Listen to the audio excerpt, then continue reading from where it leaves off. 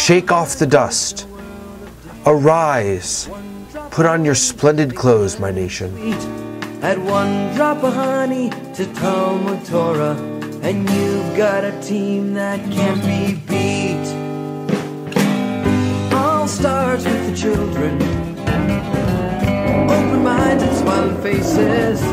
So we teach them of days long before our own. Just this past week, we celebrated Purim, a celebration of heroism, the heroism of Queen Esther, of her cousin Mordecai, and of Queen Vashti even. But for the past few weeks, we've been seeing heroism in our own world. Heroism in Japan, heroism in Northern Africa, heroism in the Middle East. And we've also been seeing heroism in Israel. It hasn't been reported on much. But in the past few weeks and days, the attacks have begun in earnest in Israel. Again. Rockets from the south hitting as far as Beersheba, Ashkelon, and even attacks in the heart of our country in Jerusalem and in Itamar. This week's message is not for me. This week's message to shake off the dust, to find our own heroism, is not my message. Instead, it belongs to the daughter and sister of the family who died in Itamar, the family that was massacred in their beds on Shabbat evening. Her message this week teaches us how to be a hero, how to stand united, how to be brave in the face of uncertain future. פוגל, הנערה מאיתמר שאיבדה ברגע את שני הוריה ושלושה מאחיה, מבקשת עכשיו לדבר על המשפחה שנרצחה, על התחושות הקשות, וגם יש לה מסרים שהיא מבקשת להעביר. סיוון רהב מאיר פגשה היום נערה בת 12 שהתבגרה בן לילה. זה אבא ואמא היו. שהיה הכי חשוב להם אה, האחדות של עם ישראל, שלא יהיה כאילו הרבה סוגים בעם, שכאילו יהיה אחדות, וכולם יהיו ביחד, ולא יהיה מריבות, לא יהיה מכות, לא יהיה... לפעמים קשה להאמין שהיא רק בת 12, תמר פוגל, הנערה שחזרה לפני שבוע לזירת הפיגוע באיתמר, שיושבת כעת שבעה על שני הוריה ושלושה מאחיה, מבקשת הערב לדבר. מתי הגעתם לאיתמר? אה, לפני שנה וחצי עברנו. זה מקום שככה היה מורגש בו אה, פחד לחיות בו? לא, לא, לא. אולי היה תקופה, אבל עכשיו כבר זה שש שנים לא היה כלום, אז זה כאילו רוגע. זה לא שיש איזה צל כזה שאתה לא, חי... לא, לא, בכלל לא. כל הדבר הזה וכל הדברים שקורים ישראל וזה, זה לא, זה לא שובר אותנו ואנחנו נמשיך ל... לא להתיישב בארץ, לזה, כאילו, זה מה שהם רוצים בעצם, לשבור אותנו, אבל הם לא מצליחים.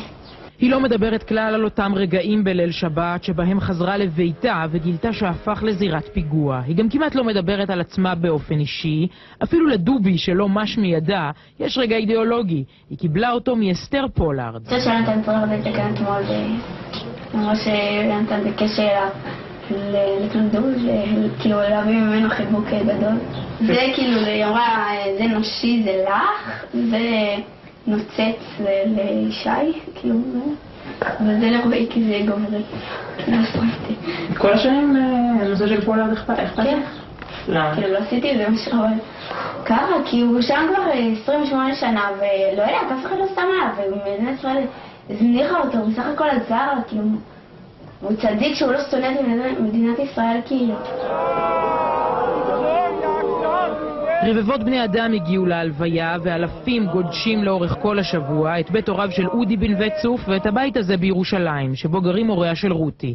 חברים מהצבא, מהלימודים, מהיישוב וגם מגוש קטיף. משם פונתה משפחת פוגל לפני חמש שנים, כשתמר הייתה בת שבע. גם בגירוש אנחנו לא נלחמנו, כאילו, האתגרים שלנו כאילו, אנחנו, אנחנו לא רוצים לריב, כאילו, עם אה, אחים. בהתנתקות? מה זאת אומרת, הם יצאו מהבית? כן.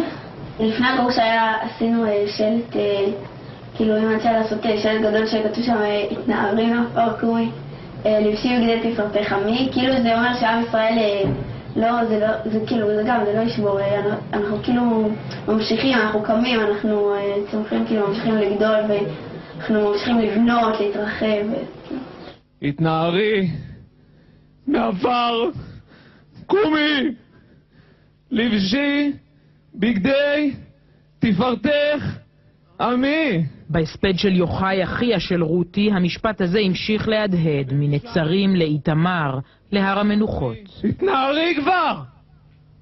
קומי! לבשי בגדי תפארתך עמי! מה כבר ביקשנו? שדוד בן ישי יבוא, מה זה מסובך? שלא יהיה בלבול! בזמן ההלוויה ישבה תמר ברכב הזה, בסמוך, לא יצאה החוצה. מיד אחר כך הגיע לנחם את המשפחה ראש הממשלה, וגם לו, היה לה מה לומר אישית. אנחנו מבינים אם יש לנו עסק. אנחנו יודעים גם ש... אז אמריקה תעשה לך משהו? הם רוצחים, אנחנו בונים. אנחנו נבנה. נבנה את הארץ שלנו.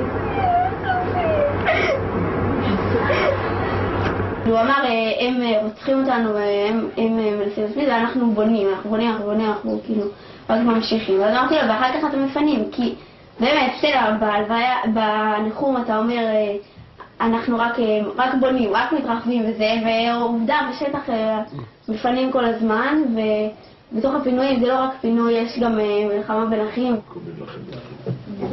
היא עוד לא יודעת היכן היא ושני אחיה הקטנים יגדלו, כנראה אצל הסבא והסבתא מאחד הצדדים. בינתיים המשפחה והחברות מאיתמר מקיפים אותה, מזכירים לה שאחרי כל המסרים הגדולים היא בסך הכל ילדה, שעד לפני שבוע הדבר שהכי הטריד אותה היה למה תתחפש בפורים.